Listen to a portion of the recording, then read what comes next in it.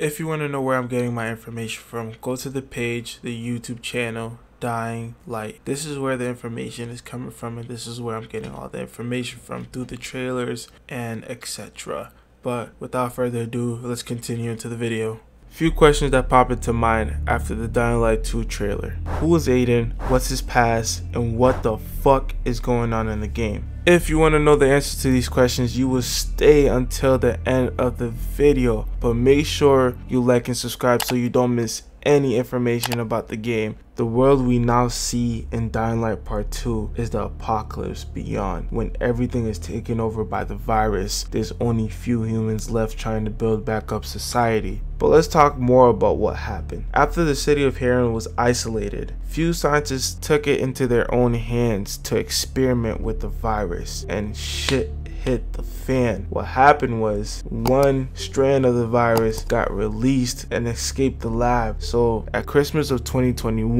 everything broke loose. Cities were being burned, people fighting, and most 98% lost their life to the virus. Villedor was the only city that was standing. Believe it or not, this is where our main character comes into play.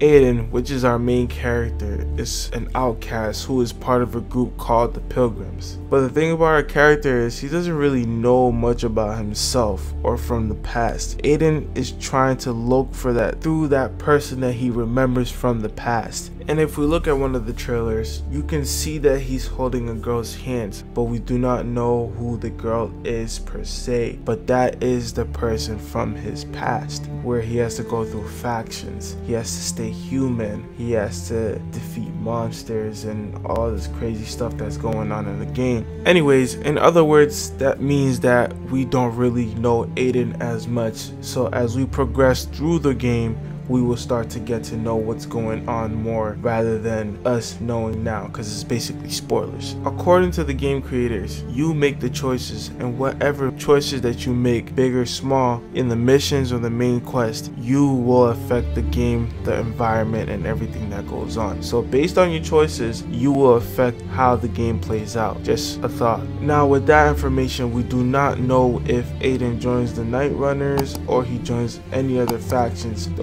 only faction that was mentioned in the Dying to Know was the Night Runners, so we don't know what the other faction names are. The developers left that a secret, they don't want to spoil too much. Another question pops into mind after me answering these questions. Who are the Night Runners, and who are the other factions that play a part in Aiden's journey?